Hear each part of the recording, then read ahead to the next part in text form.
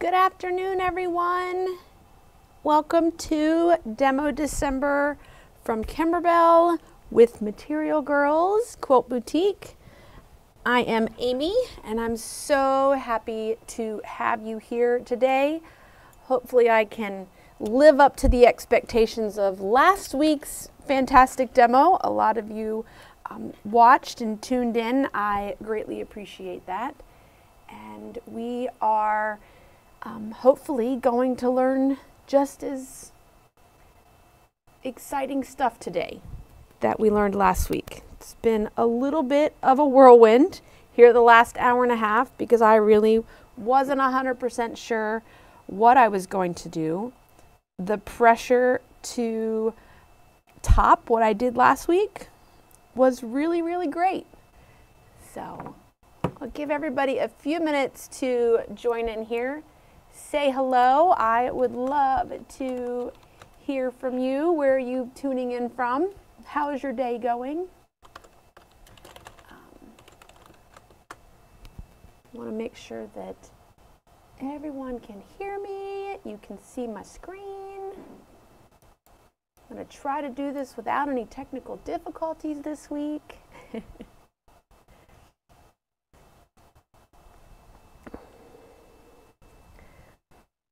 so, welcome, welcome, welcome.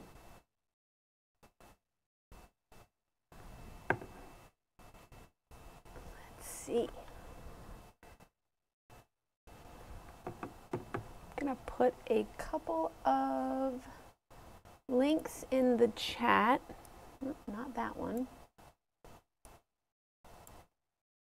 Today, we have a couple of things that I'm going to talk about. First, this week, we are going to talk about. Hello, Miss Heather.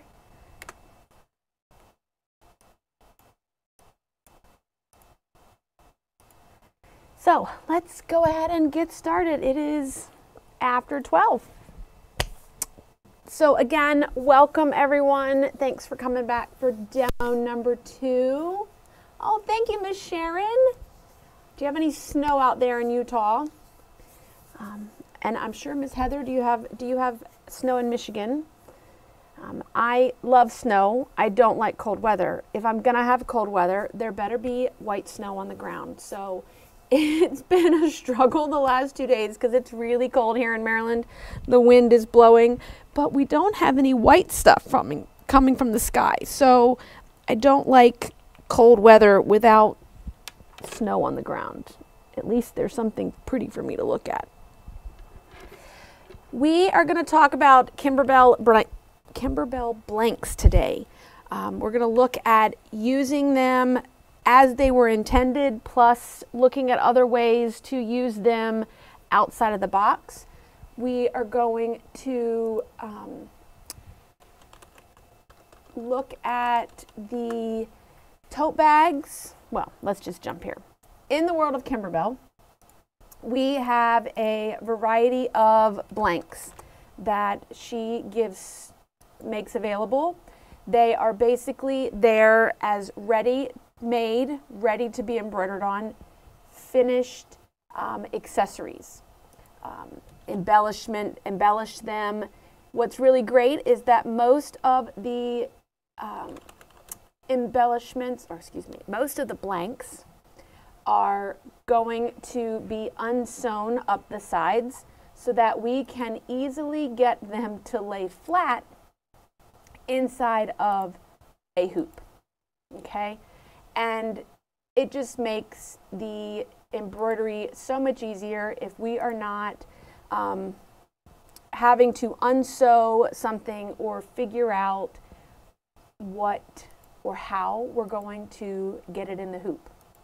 Okay, so that's what's really great about that. She has also um, given us some pillow forms that match in size to her pillow blanks. And so we have uh, 18 inch squares. We have a bench pillow form that's designed to fit into her bench pillows.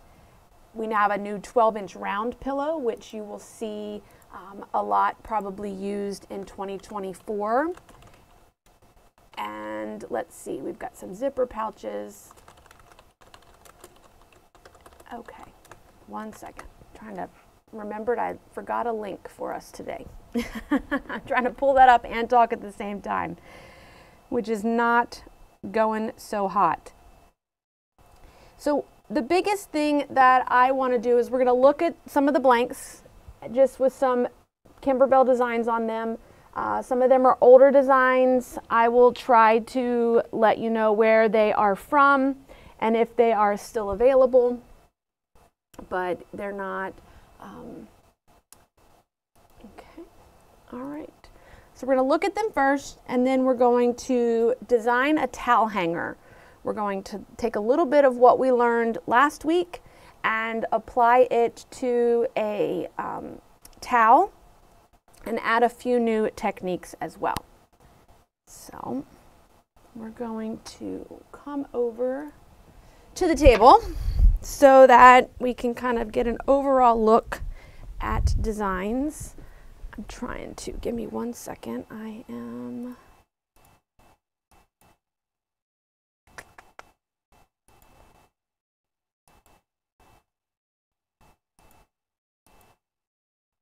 There we go. Hello, Miss Mary. Oh, four inches of snow. I'm so, so jealous. Okay. So, laying right there on top, we have an apron. Okay. So we have, there are two color aprons that Kimberbell has for us. They are, um, there's this gray pinstripe and then there's a yellow pinstripe that is out there and available. This just has a, I believe this was a um, fill in the blank or a dealer exclusive design that's stitched on here. Wasn't, doesn't have to be on an apron. That's the great thing about the Kimberbell designs is that they really can go anywhere. Um, her aprons have adjustable neck straps as well as uh, large waist ties. There are lots of projects. The aprons are very, very long, and so there's lots of information out there about folding it up and shortening it, and then creating pockets if you're more into the um, shorter apron. That's there. So there are two Kimberbell aprons. You may still find some onesies from Kimberbell. They have been retired. Uh, we still have a few onesies. What was great about a onesie from Kimberbell is that if you've ever tried to embroider a onesie, you know it's hard. It's small, can't really get it in a hoop, doesn't really lay flat, has to be something that you kind of babysit in the embroidery machine. So the Kimberbell onesies were unsewn on one side and then they laid flat in the hoop.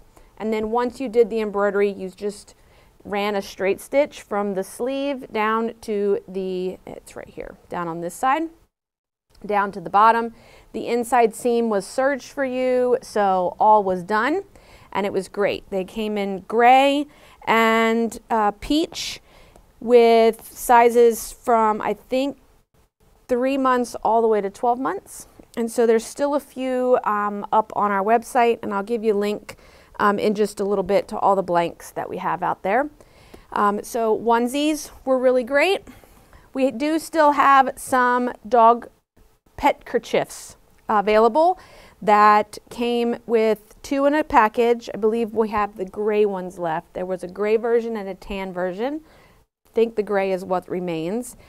Um, multiple size. It, it, came as one size, and then you, she the instructions walked you through um, and sizing it down to fit whatever neck width you needed for your animal. As always, tea towels. Um, she's got some plain tea towels, polka dots and stripes, and then we have some waffle tea towels as well. Tote bags, probably the uh, number one thing, her first blank that she came out that was unsewn down the side. So I have lots of tote bags. When you purchase a tote bag, there are a few different colors available. The tote bag is not sewn up the side, so it's one large rectangle with handles. Once you do your embroidery, Okay, again, lays nice and flat in the hoop.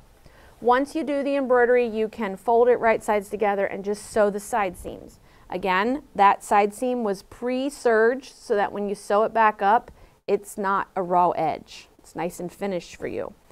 There's lots of things that we can do to the tote bag. This, if you just fold it in half, is going to give you a standard just flat like tote bag, carry tote bag. You could easily box the corner on the tote bag and you would box the corners in the traditional manner that you would normally box a corner. And then that gives the tote bag a gusset. Okay, so it gives it a little bit of um, depth. Okay, that's there. There is the tote bag. This was um, an inch and a half square that gives you a three inch gusset in the tote bag. The other thing that we can do with the tote bags is she made a uh, casserole dish or a pie carrier with the tote bag. Okay, so doing your embroidery and basically folding the two ends of the tote bag into the middle and then sewing up the side. And then now you've got a casserole carrier that is there for you as well. Then with tote bags, we've taken it a step further. Rather than, well, after you have boxed the corners, we can also line the tote bag. And so we have gone through and lined the tote bags as well so that they're pretty on the inside like they are on the outside. And with lining the tote bags, um, we've also added a ruffle to the lining. So you can fancy up these tote bags however you would like. Um, they are a canvas denim type feel, so they're a little bit of a sturdier fabric. There is a plain muslin um, colored tote bag. It's a little bit thinner. That's there. You can embellish up the handles. I have a document for you. It's nothing fancy. One of my customers fancied up tote bags um, and has given us the written down, jotted down kind of the instructions that she does for lining a Kimberbell tote bag.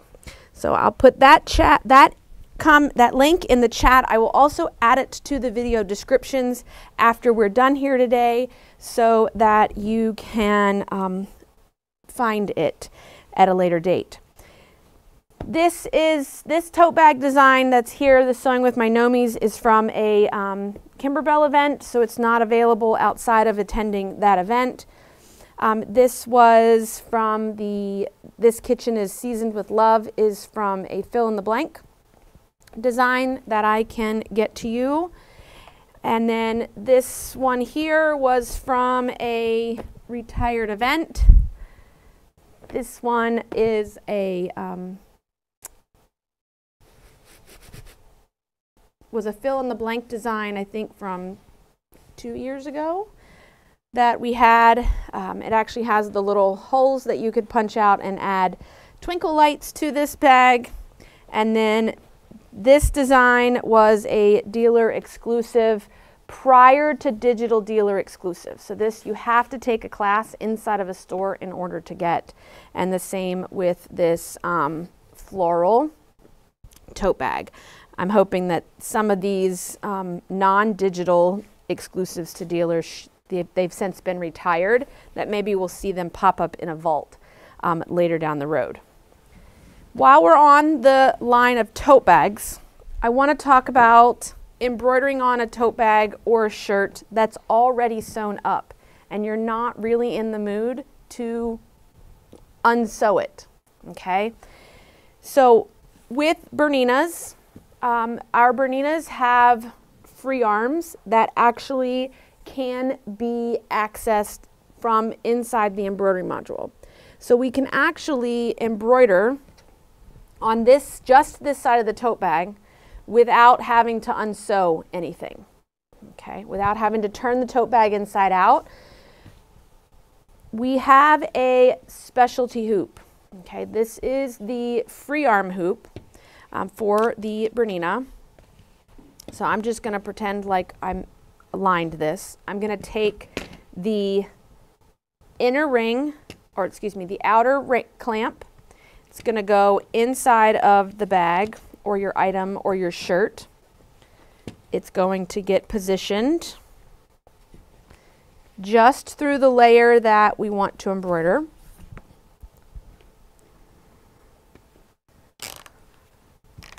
Okay.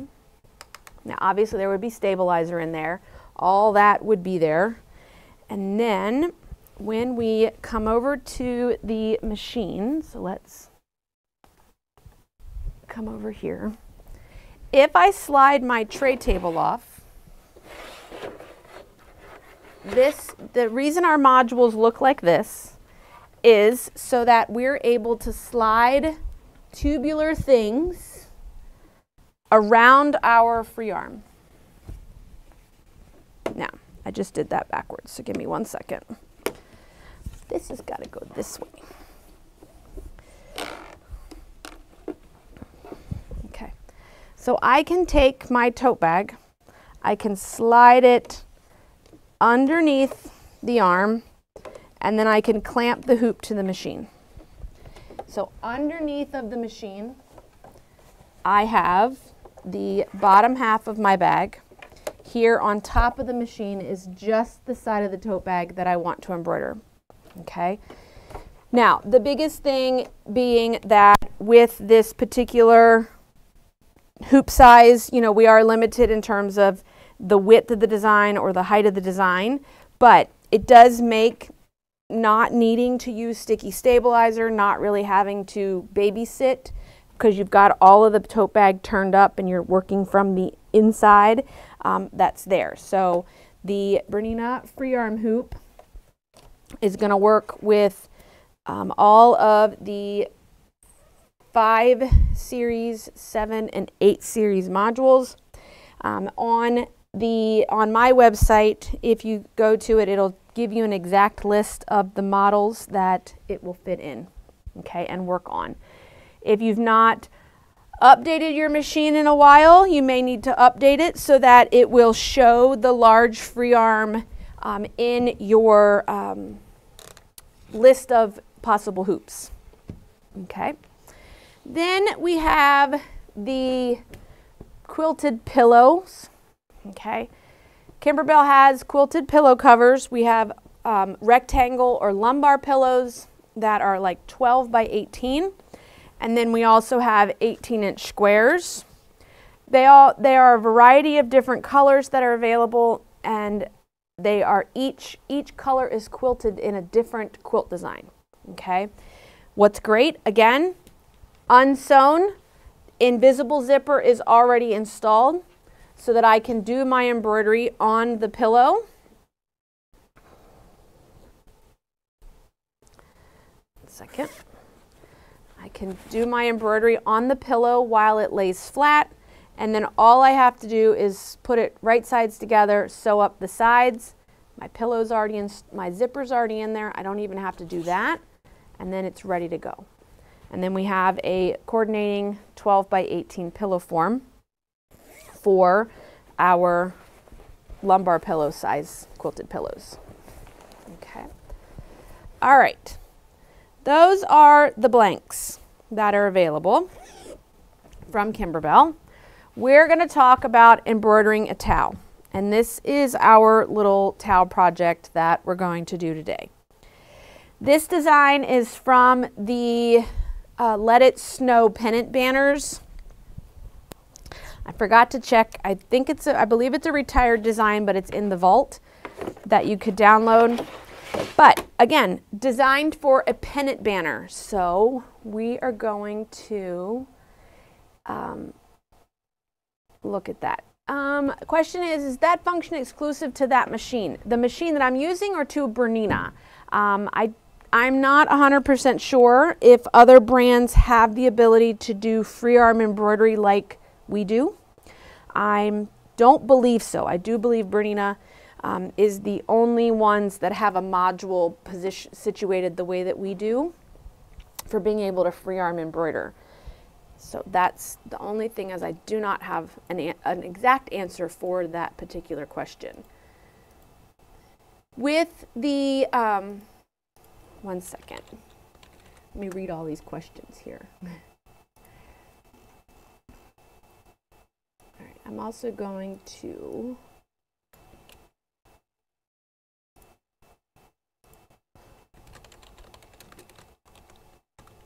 Do I have any questions?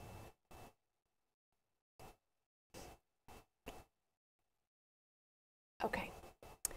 So let's take a look at our simulator. This is the design. And like I told you, it was originally designed to be a little hanging pennant banner. I don't need it to be a pennant banner. I can't really tell the size of the design because I have these extra lines that create the stitch and flip of the pennant banner. Um, I don't need for my design. I only want these hearts and I want the words. So just like we did last week, we're going to ungroup this design and we're going to delete the items we don't need so that we can get an exact size of this design. So just as a review, we're going to go into I. We're going to go into ungroup. We're going to ungroup it. And then I'm going to work my way through deleting all the items that I don't want. And then I'm going to go all the way up here to the very last color stop.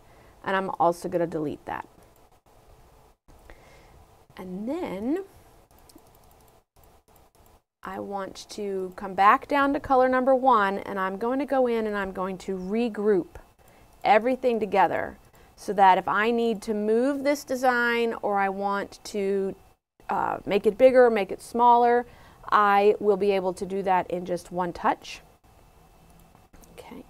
Question is um, opening the chat window. You have to be logged into YouTube, I believe, in order to get a uh, chat window. Okay. That I, I believe is the answer to that question. All right, so I have a design. I'm going to use a, an oval hoop for this project. So we're going to open up the oval hoop. And this design would be ready for me to stitch.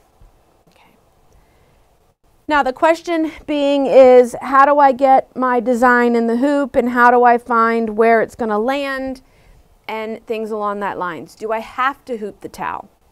No, you do not have to hoop the towel. I am going to uh, show you how to use sticky stabilizer. Oh, excuse me. Let me get my, this is what happens when you can't find a USB stick. You then get a new one, and then one day you find all your USB sticks. so I do have a, I will put up a link to this tutorial here. I still have the wash away stabilizer um, on this. This tutorial uses a uh, standard tea towel. It's like 18 by 27, which is about the dimension that the Kimberbell towels are and she cuts it in half. So one towel gives you two towel hangers. The way that she folds it is basically you have a four inch center pleat that's right here. So I have a design that can't be, I have an area that can't be larger than four inches. Okay. So I'm gonna, I marked the center of that area. I've also pre-folded the pleat. I'm gonna unfold it all in order to embroider it but I've pre-folded it so I kind of know where things are. I've marked my line and I kind of marked an area where I think I want a design. This design we're actually going to put a um, gingerbread man on this towel. And so I've just kind of marked where I want him. It's not really, doesn't have to land here. It's really there mostly so I can get this onto the hoop in a um, and get it in there as straight as I possibly can. Okay, so with Kimberbell, she has given us in the last few years, we have centering crosshairs.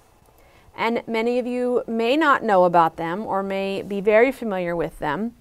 These crosshairs are designed to help you get something in the hoop that you're not going to actually physically hoop. Okay? So I am going to come over to the machine because I have placed in my hoop sticky stabilizer. Okay? So I've got sticky stabilizer in here. I'm going to put my hoop on the machine and I'm going to run this crosshair and it's going to stitch directly into my stabilizer a cross right in the center of the hoop and we will um, use that to get our towel into place. Okay? So we'll give that a second to stitch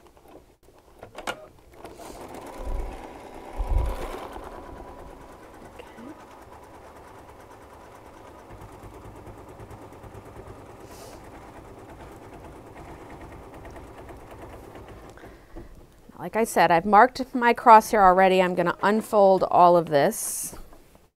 I'm going to pull my, my crosshair design off the machine. And I am going to basically line up, second, I'm going to line up this crosshair here with what's in the hoop, okay? And so I can kind of fold it in half. I could mark the wrong side of my project. and fold it and align it. If it's a fairly thin piece of fabric, you've marked it, you may be able to turn it over and see the marking through the back of the hoop. Okay, so you can see if you have lined it up. All right. So I'm going to put that on the hoop. I'm going to call that close enough, as they say, for government work. Okay? Because I'm also going to show you today how to use pinpoint. Because if you've got it, you might as well learn how to use it. This towel is textured. Okay, it's a waffle weave. So I need to cover up the area in which I plan to stitch because otherwise my embroidery is not going to be um, pretty. Okay, things are going to kind of disappear into the valleys of my waffle weave. I also need this to stay where I want it to stay. And I don't really want to put pins in it because, you know, we could accidentally hit a pin and maybe I don't want to pin it.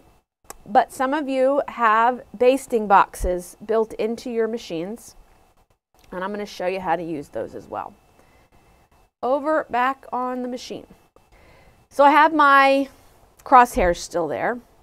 I'm just going to go ahead and add my design to this and we're going to add the little gingerbread man. Okay, that's there. And so I could have completely set up this design before I ever stitched the crosshairs. I could have opened the crosshairs and put in my design and I would be ready to go. And then we are ready to basically embroider. Okay, one second. When we send this to the machine, let's get a hoop on here. We're going to send it over to the machine and we've already stitched crosshairs. Okay. But up here in the upper corner, we have a dotted box.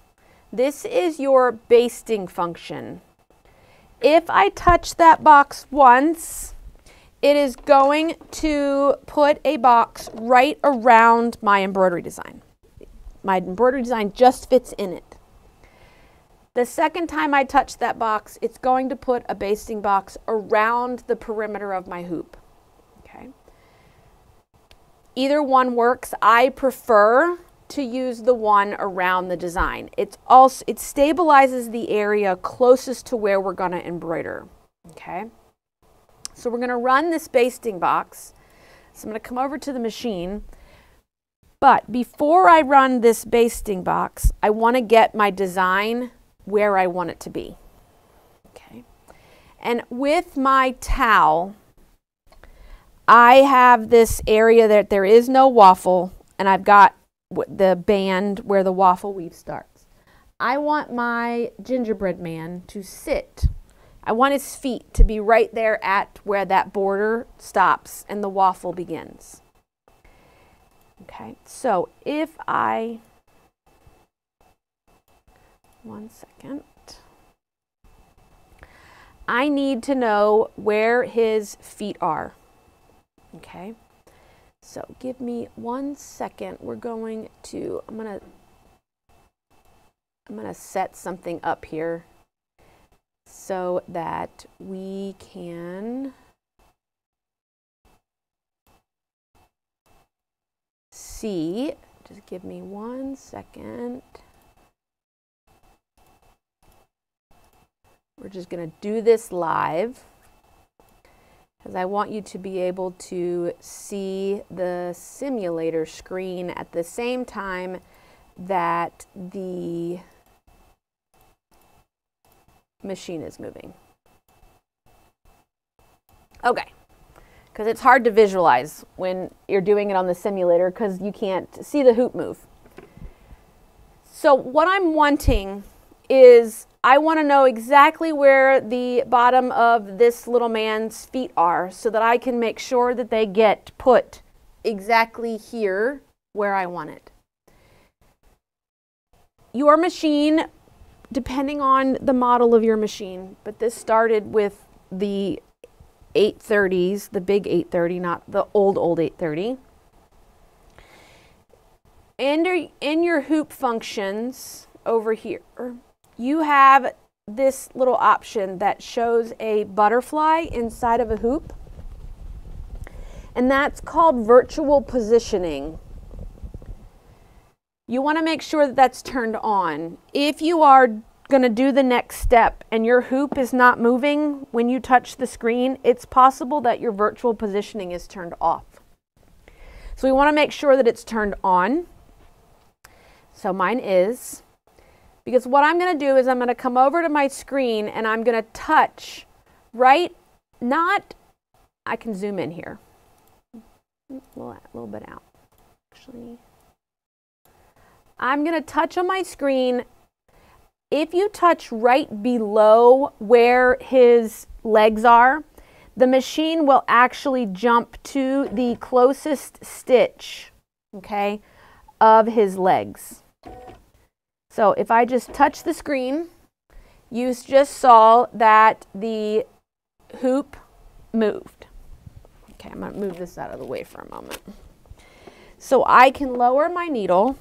Let's move you a little closer.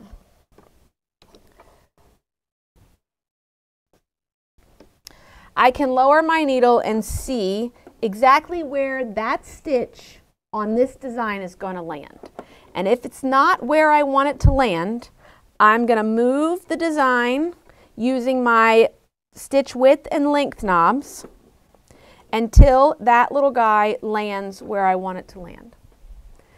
Now, when I go to embroider this, it's to go and his feet are to land right there at that border. But I've only checked one foot. What about the other foot, Amy? Just touch on the screen again and check his other foot. You want to check another location on the machine. Just, you want to know exactly where his eyeballs are? Touch his eyes. And the machine will go exactly where that is. Okay? what if I didn't hoop straight? What if this towel had a stripe or it does kind of, it is kind of straight with it being a waffle weave. We do have some straight lines that are in there that would probably be a little obvious, especially if we had a design that was, you know, a word or things along that lines. And this is where pinpoint comes into place. I'm going to open up I and pinpoint is right here. I'm going to open up pinpoint. We have two different options for pinpoint. I'm going to just do the top option, the two points, so that it gives my design nine little dots. And I get to pick two of them.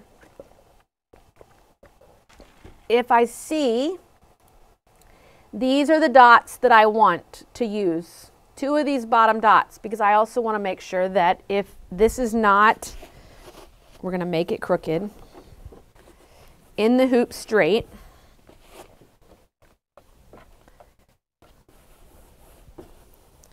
we can fix it, okay?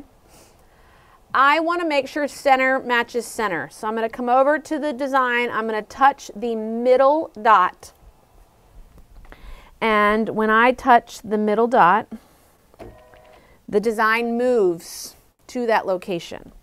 Now, it's hard, it may be hard to see with the light, but I'm now below where I want and I'm I want to be over here where this line is marked. So I'm going to use my knobs again to move my design until my needle goes down at my line and right at the border that I want. Okay, got it where I want it. Once I've done that, I'm going to hit the word set. Okay. And that's going to act like you just hammered a nail right there. This little design is not going to move anymore. He only pivots uh, basically along that point. So I'm going to go and either grab the left hand lower dot or the right hand. Um, I'm going to go left here. And the design's to move. Okay. Let me go back here. Hold on. I didn't hit set before I did that on the screen. Now I am looking at where this little guy is at. Okay. I need this needle to be up here going into the area. He needs to be up here. So I need to move my design up. Okay, it doesn't need to go over, it just needs to go straight up. So I'm going to use my stitch length knob and I'm going to turn this design straight up. And you're going to start to see on screen, he's probably going to go a little crooked. You'll also notice on the second position that it takes a little bit more to turn your design. Okay. So the it's a really, really fine tune. Thank you, Miss Karen. That second point that when you're pinpointing, it takes a lot more turning of your knobs to get it to move, especially if you need to move it a lot, because obviously we want to be exact. And if it made big movements when we were doing this, we wouldn't be able to be exact. Then I have it all where I want it to be, and I would hit the word set again. Okay. Now, when I hit the word set, my yellow dots disappear, and I can close out the design or close out this option, and then I am ready to embroider. First things up is going to be my basting box.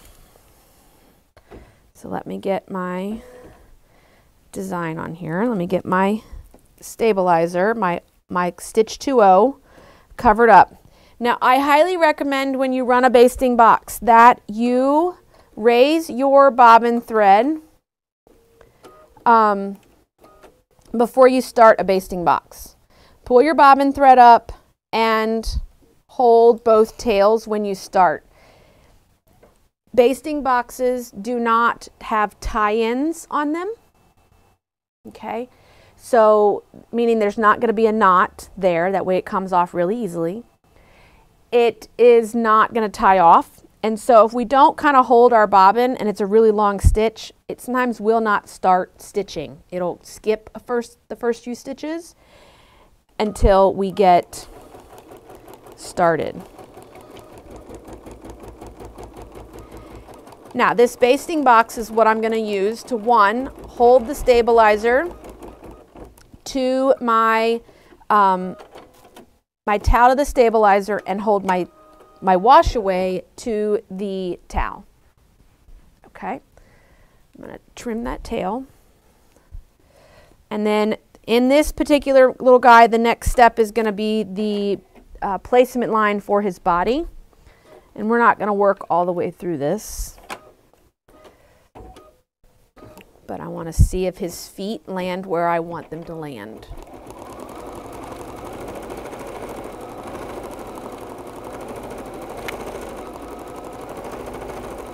perfect. Okay, I'll pop this off here so that you can see it up close and personal. Now I know the uh, the pinpoint functionality um, is other brands have they have cameras and sim similar options so that you kind of can do the same thing with it. Let's come over here to this.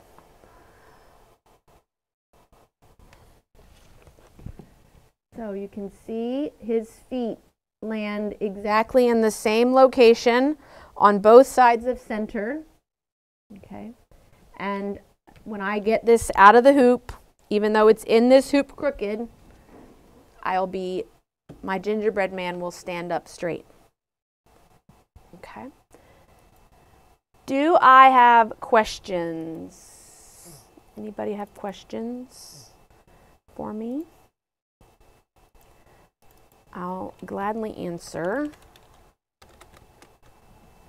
Okay. And then you'd work through the rest of the particular embroidery design. Nothing, um, nothing anything different. When I get the embroidery design finished, I will then use just a seam ripper, pull out my basting boxes, and carefully tear away the excess stabilizer on top and then carefully tear away the excess stabilizer on the back side of the embroidery. Okay. And then you work through assembling the parts of the towel according to the tutorial. Okay, so let me put that link to the video here. It is not a video by me. Um, I I'm a true believer in supporting other creators and why reinvent the wheel if somebody already does it. Um, and her video is very detailed, measurements are all there, and she walks step by step. So it is a, a great video for you as well. This week, what's new? Um, newly released here is this Save the Date Pillow Panel Collection, since we're talking about blanks. Um, the oat colored pillow that these are buttoned to in the back is just a Kimberbell blank. There are four buttons attached to that pillow and then these little pillow date pieces button on and off. And so it's one pillow with um, interchangeable designs. I believe it's 10 designs um, that you have. They come 5 by 7 or and larger there are two size designs um, that you can, they are double hooping. Okay, so they're double hoop embroidery. You'll hoop one, the first number, and then you'll hoop the second number. That way you can have a 9 by 9 or a 12 by 12 panel. So in the, um, on the right, that picture uh, shows you the 9 by 9, which is done on the 5 by 7 hoop, and the back, the back pillow is the 12 by 12 panel which is done in uh, larger, uh, maybe six by tens. I didn't, I didn't fully open um, the design file, uh, but I think it may be five by seven and six by 10. Uh, but again, they are multi-hooped. Okay. These are digital downloads, and so digital downloads are done through the Kimberbell uh, website, which you can navigate to from my website. We do make a small commission from Kimberbell, so it's like purchasing from us and supporting us. So we appreciate it. get that in there for you as well. Okay. On sale this week starting today through Saturday night, Kimberbell blanks. All the Kimberbell blanks are 10% um, off. Did I do it at 10? I didn't tell you, but they're 10% off. we have all sorts of them. We have the felt zipper pouches. We have the velveteen zipper pouches, tote bags, wine, the navy velvet wine bags, aprons, tea towels. Um, they're all there you can find all of the um, Kimberbell blanks here. on our website as well. And again, like I said, I'll put these in the video uh, description as well so you can come back to them. I am going to be releasing the, well, I did, they're up online already. There, we have a limited number of kits for the Demo December poinsettia jar topper. I have to save some for my in-person demonstration, but after the in-person, uh, whatever is available will go up uh, remaining online. It is scraps. It is not a large amount of anything. If you've been doing Kimberbell for a while, you probably have excess velveteen, you have excess felt. Um, for this project, you probably even have scraps of FlexiFoam or any soft and stable um, that is used in here. And so I just wanted to kind of give you an idea here as the sizes that you need. Our kits contain two colors of felt and one piece of velveteen, okay? And that matches identically to the all of the marketing images that you have seen. The kit will make multiple um, jars in both sizes, okay? Because they're much larger than what you particularly need.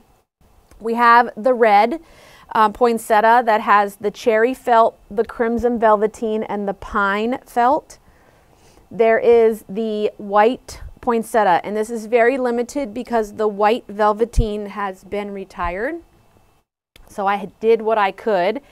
So we have white velveteen, or what they call antique white. There is embroidery antique white felt and prickly pear felt.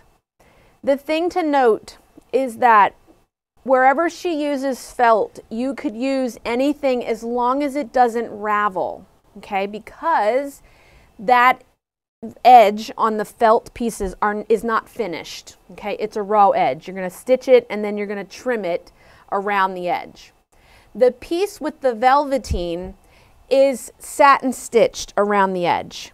So you could, I think it would be, and I'm going to try to get one done, um, really beautiful if you took a piece of the applique glitter, fused it to a piece of fabric, and then used that for your applique um, in the design.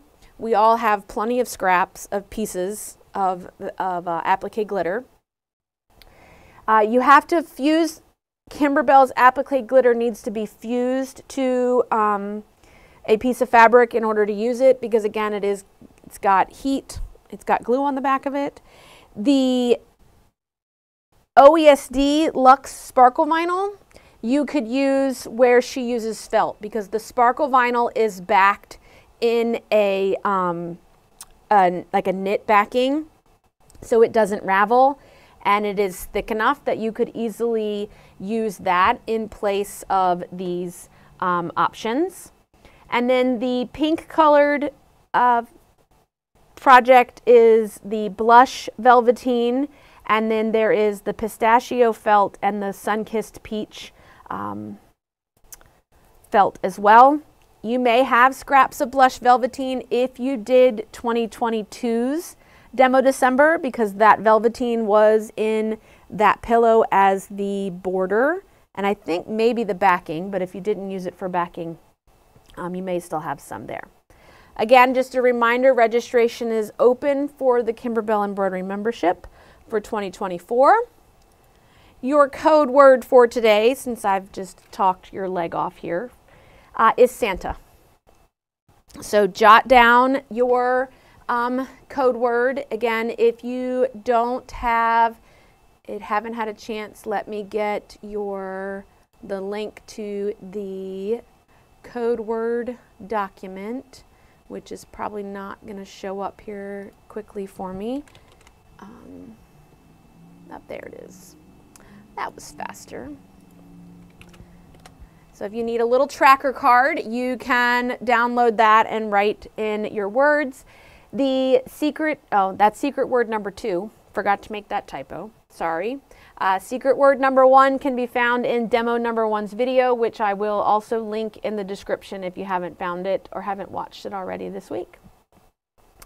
Well, I appreciate everyone for joining us today. I hope that you learned something and that you found it informational. We will see you again next Wednesday at noon for our final Demo December demo. Next week, we will be talking about um, the jar topper. I'm going to walk through how to make the jar topper and things for this particular project and then how you're going to get your, um, your design. Okay. All right. Well, I appreciate again everybody for joining me today. I hope you have a great rest of the day and a great week, and I'll see you back here next week. Thanks, everyone.